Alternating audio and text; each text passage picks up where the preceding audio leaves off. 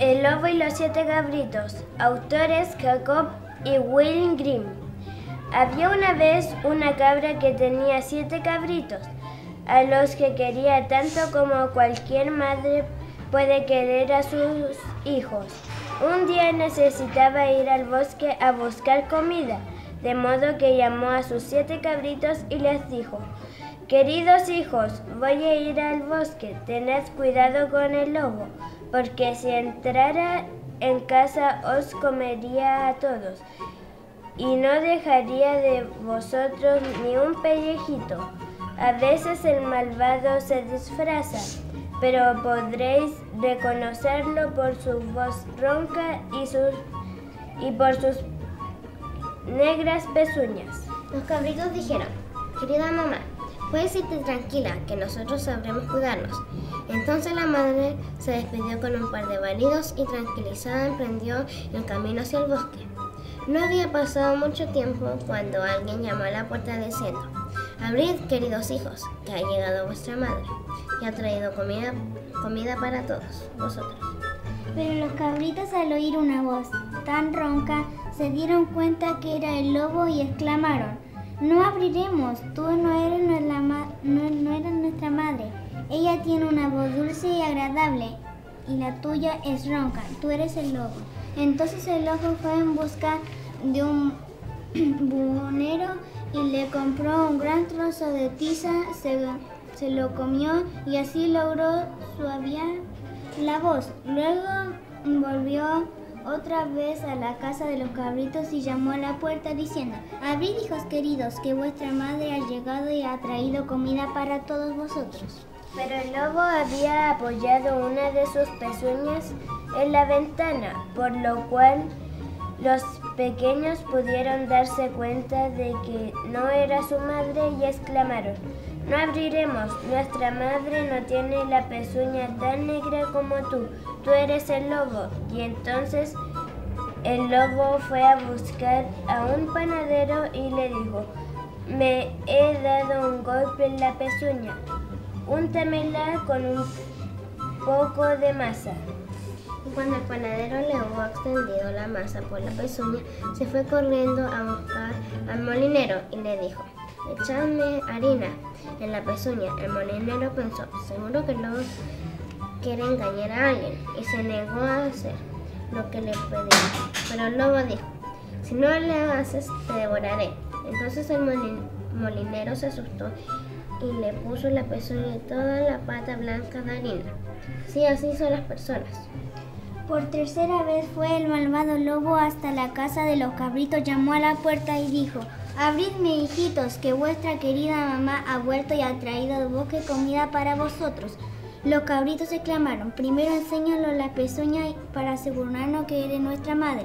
Entonces el lobo enseñó su pezuña por la ventana y cuando los cabritos vieron que era blanca, creyeron que lo había dicho era cierto y abrieron la puerta. Pero quien entró por ella fue el lobo. Los cabritos se asustaron y corrieron a esconderse. El mayor se metió debajo de la mesa, el segundo en la cama, el tercero se escondió en la estufa, el cuarto en la cocina, el quinto en el armario, el sexto bajo el refriger el fregadero y el séptimo se metió en la caja del reloj de pared. Pero el lobo los fue encontrando y no se anduvo con miramientos, iba devorándolos uno tras de otros, pero el pequeño, el que estaba en la caja del reloj, afortunadamente consiguió escapar. Una vez que el lobo hubo saciado su apetito, se alejó muy despacio hasta un prado verde. Se tendió debajo de un árbol y se quedó dormido. Muy poco después volvió del bosque la vieja cabra. Pero ¡ay! ¡Qué escena tan dramática! Apareció ante sus ojos. La puerta de la casa estaba abierta. De par en par, la mesa, las sillas y los bancos tirados por el suelo, las mantas y las almohadas arrojadas en la cama y el fregadero hecho pedazos. Buscó a sus hijos, pero no pudo encontrarlos por ninguna parte. Los llamó a todos por su nombre, pero nadie respondió. Hasta que al acercarse donde estaba el más pequeño, pudo oír su melodía mamita, estoy metido en la caja del reloj. La madre lo sacó de allí y el pequeño cabrito le contó lo que había sucedido, diciéndole que había visto todo desde su escondite y que, y que de milagro no fue encontrado por el lobo. La mamá cabra lloró desconsoladamente por sus pobres hijos. Luego, muy angustiada, salió de la casa enseguida por su hijito. Cuando llegó al, prado, encontró el lobo tumbado junto al árbol roncando tan fuerte que hasta las ramas se entremecían, lo miró atentamente de pies a cabeza y vio en que su embustado vientre algo se movía y, y pateaba. Oh Dios mío, pensó, ¿será posible que mis hijos vivan todavía después de habérselos tragado en la cena? Entonces mandó al cabrito que fuera a la casa a buscar unas tijeras, aguja e hilo. Luego ella abrió la barriga al monstruo y nada más dar el primer corte, el primer cabrito asomó la cabeza por la abertura y a medida que seguía cortando fueron saliendo dando brincos los seis cabritos que estaban vivos y no había sufrido ningún daño, pues el monstruo en su excesiva voracidad se los había tragado enteros. Aquello sí que fue alegría. Los cabritos se abrazaron a su madre y saltaron y brincaron como un sastre, celebrando su boda, pero las bodas. Pero la vieja cabra dijo, Ahora ir a buscar unos buenos pedruscos. Con ellos, ellos llenaremos la barriga de este maldito animal mientras está dormido. Los siete cabritos trajeron a toda prisa las piedras que pudieron y se las metieron en la barriga al lobo. Luego la mamá cabra soció el agujero con hilo y aguja y lo hizo tan bien que el lobo no se dio cuenta de nada, ni siquiera se movió. Cuando el lobo despertó se levantó y se dispuso a caminar, pero como las piedras que tenía en su, en su barriga le daban mucha sed, se dirigió hacia un pozo para beber agua. Cuando echó a nadar y empezó a moverse, las piedras de su barriga chocaban contra otra, haciendo mucho ruido. Entonces lobo exclamó, ¿qué es lo que mi barriga bulle y rebulle? Seis cabritos creían haber comido y en piedras se han convertido. Al llegar al pozo se inclinó para beber, pero el peso de las piedras lo arrastraron al fondo, ahogándose como un miserable. Cuando los siete cabritos lo vieron, fueron hacia allá corriendo mientras gritaban, el lobo ha muerto, el lobo ha muerto. Y llenos de alegría bailaron con su madre alrededor del pozo. ¿Por qué la mamá cabra tuvo que dejar a sus hijos solos en casa? Porque fue a buscar comida al bosque. Porque tuvo que ir a buscar comida al bosque porque no le quedaba. Tuvo que dejar a sus cabritos solos porque tenía que ir a buscar comida al bosque. ¿Cómo hacía el lobo para engañar a los pequeños cabritos? Se disfrazó y se puso masa en las pezuñas y harina. Se disfrazó de ella y se pintó todo de color blanco. Se disfrazó de su madre y así pudo engañar a su a los cabritos para que le abrieran la puerta. ¿Por qué los cabritos le abrieron la puerta al lobo? Porque creyeron que era su mamá. Porque los cabritos le dijeron primero que le mostrara las pezuñas. Y así se dieron cuenta que la, que la pezuña era blanca como la de su madre. Eh, Primero para engañar a, su, a los cabritos eh, se comió un pedazo de tiza y así pudo tener la voz suave como de su madre. Y después se echó eh, masa en la pezuña y harina. Y cuando los cabritos le dijeron al lobo que mostrara la pezuña, ahí, ahí le, ahí creyeron que era su madre. ¿Por qué uno de los cabritos se salvó? Porque, porque se escondió en la caja del reloj y, y el lobo no lo pudo encontrar allí.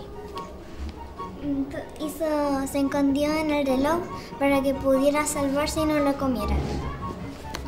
Se escondió en el reloj de la pared de su casa y así el lobo no lo encontró.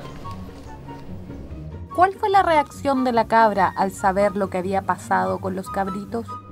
Se asustó mucho y se largó a llorar. Se largó a llorar, a llorar desconsoladamente porque el lobo se había comido a sus hijos.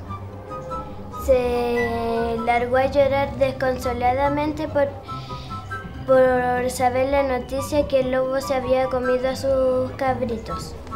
¿Cómo rescató la mamá cabra a sus pequeños cabritos? Le abrió la barriga al lobo y le echó piedras para que el lobo se ahogara y nunca más volviera a comerse a sus hijos. Le abrió la barriga al lobo, eh, le echó piedras y, le, y ahí después le cosió la barriga y se ahogó. Eh, la pudo salvar porque uno de los cabritos se escondió y después la mamá regresó a la casa y así lo encontró. Y él le contó todo lo que había sucedido y después la mamá le, fue le pidió tijeras al cabrito y le cortó la barriga y le echó piedras. ¿Por qué crees que la mamá cabrita actuó muy rápido para sacar a sus cabritos de la barriga del lobo? Porque ella pensaba que estaban vivos porque en la barriga del lobo se movía algo. Porque estaba muy asustada. Porque creía que estaban muertos, por eso actuó tan rápido. ¿Cómo podría la mamá cabra haber evitado esta historia?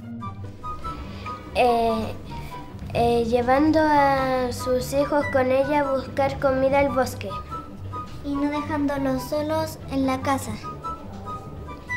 Pues, podría haber contratado a alguna persona para que le cuidara a sus cabritos. ¿Cómo podrían haber evitado esta historia los pequeños cabritos? No haber abierto la puerta a nadie. Y eh, antes que hubiera aparecido, se hubieran escondido en una parte que luego no lo hubiera encontrado. Hubiera visto la ventana porque él no se disfrazó, solamente se comió una tiza y se para suavizar la voz y se puso masa en las personas. Tuvieron que verla en la ventana. ¿Crees que se debe abrir la puerta a cualquiera? No, porque si es un hombre malo y que no conoce, lo puede llevar a alguna parte y lo, y lo puede matar. O puede haber sucedido algo peor que lo hubiera matado y lo hubiera llevado a una parte en esconderlos. Lo hubiera matado y le, y le puede hacer algo malo.